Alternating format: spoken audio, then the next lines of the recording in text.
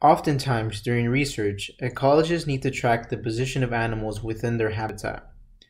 One of the most prevalent animal tracking methods is radiotelemetry, which depends on tagging animals with radio transmitting devices and then traversing the open habitat with large radio antennas like the one pictured here, following the signal from the animal's tags.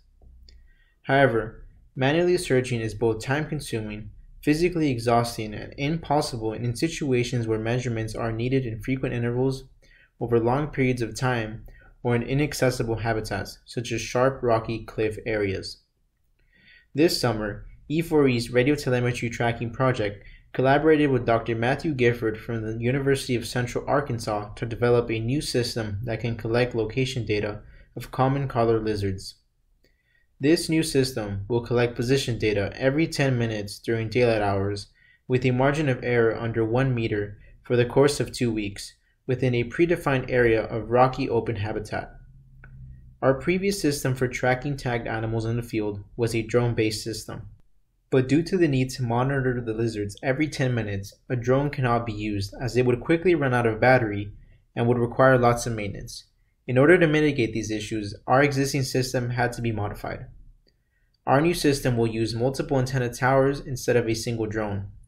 These will be able to run and collect results autonomously so they don't require a pilot. Our tower systems will have a sleep timer to automate turning the towers on and off at the intervals at which data is needed to be recorded. In this video, we will outline the major areas of development for this tower system from the summer. In the previous drone system, the drone software ran on an onboard computer, OBC, and acted as a server, with the ground control station, GCS, connecting and receiving data as a client. This was problematic because for our new tower system, we want multiple towers with their own onboard computer. If they are the server, this complicates having multiple towers. So in order to implement the multiple tower system, we transitioned to a flipped TCP model the GCS would change to the server, and the towers acted as clients. Additionally, the existing ground control station expected one singular connection, so it needed to be updated to manage data from multiple connections. This was accomplished through the implementation of additional threads.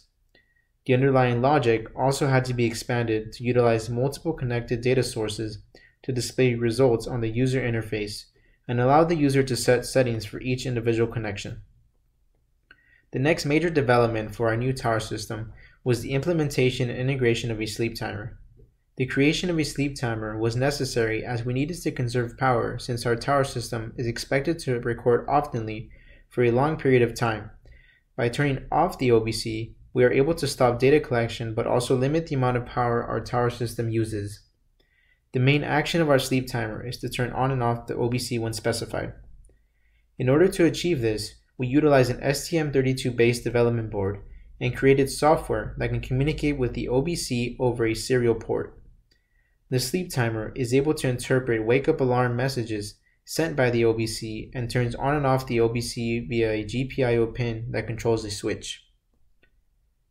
The next major development was the physical design and later redesign of the tower system. The initial concept of the tower system centered around a 10 foot tall steel mast. The mast would be supported at the base by an off-the-shelf tripod and stabilized at the top by three guy wires. Guy wires keep the mast stable by placing the mast in the center of three opposing forces.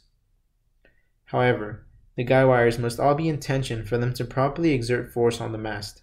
This became an issue when we realized that it would be extremely difficult to anchor the guy wires into bedrock without causing permanent changes to the ground. To solve this issue, we redesigned the tower system and switched to a tree-mounted design. This design will work in the area of interest for this deployment since the habitats of interest are all surrounded by trees. The tree mount consists of seven sections of PVC pipe connected by PVC angles. The antenna then sits within the PVC pipe, protecting the antenna. The entire assembly is strapped onto the tree with ratchet straps, allowing for a simple and easily removable system.